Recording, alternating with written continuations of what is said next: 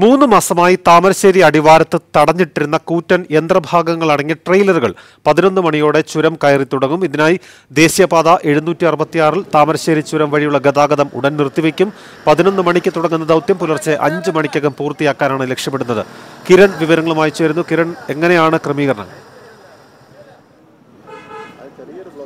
ജോബി ഇപ്പോൾ ഈ ട്രെയിലറുകൾ ചുരം കയറാനുള്ള എല്ലാ ഒരുക്കങ്ങളും പൂർത്തിയായി കഴിഞ്ഞിരിക്കുന്നു. നമുക്ക് ഈ ദൃശ്യങ്ങളിൽ തന്നെ കാണാം. ഇതാണ് ആദ്യം പോകുന്ന ട്രെയിലർ. ഇതിലെ ഈ കൂറ്റൻ യന്ത്രഭാഗം അതിന്റെ ആ ഒരു വലിപ്പം ഉയരം ഇതൊക്കെയായിരുന്നു ഒരു പ്രശ്നം. ഒപ്പം ഈ വാഹനത്തിന്റെ നീട്ടം ഇതാണ് ചുരം കയറാനുള്ള ഏറ്റവും വലിയ പ്രതിസന്ധിയായി കണ്ടിരുന്നത്. ഏതായാലും ഇതിനുവേണ്ടി എല്ലാ ഡിപ്പാർട്ട്മെന്റുകളും ഇപ്പോൾ എല്ലാ സജ്ജീകരണങ്ങളുമായി രംഗത്ത് ഇറങ്ങിയിട്ടുണ്ട്. പോലീസ് അതുപോലെ തന്നെ ഫയർഫോഴ്സ് റവന്യൂ മോട്ടോർ വാഹന വകുപ്പ് കെ എസ് സി ബി അധികൃതരടക്കമുള്ള ആളുകൾ ഈ വാഹനങ്ങൾക്ക് അകമ്പടിയായി പോകുന്നുണ്ട്. കാരണം പോകുന്ന വഴിക്കൊക്കെ ഉള്ള പ്രശ്നം ചിലയിടങ്ങളിലൊക്കെ മരക്കൊമ്പുകളുണ്ട്. അതുപോലെ എട്ടാം വളവിന്റെ ഭാഗത്തൊക്കെയായി പാറക്കെട്ടുകൾ തള്ളി റോഡിലേക്ക് നിൽക്കുന്ന ഭാഗങ്ങളുണ്ട്. അങ്ങനെ ചില സ്ഥലങ്ങളിലൊക്കെ ചില പ്രശ്നങ്ങൾ നേരിടാനുള്ളൊരു സാധ്യത മുന്നിൽ കാണുന്നുണ്ട്. അതൊക്കെ മറികടന്ന് വേണം ഈ വാഹനങ്ങൾക്ക് ചുരം ഇന്ന് കയറി പറ്റാൻ വേണ്ടി. ഏതായാലും പതിനൊന്ന് മണിയോടുകൂടിയായിരിക്കും ഈ വാഹനങ്ങൾ ഈ ട്രെയിലറുകൾ ഇവിടെ നിന്നും പുറപ്പെടുക. ഇതിനുവേണ്ടിയുള്ള ഗതാഗത നിയന്ത്രണം അല്പസമയത്തിനകം തന്നെ നടപ്പാക്കാനും തുടങ്ങും.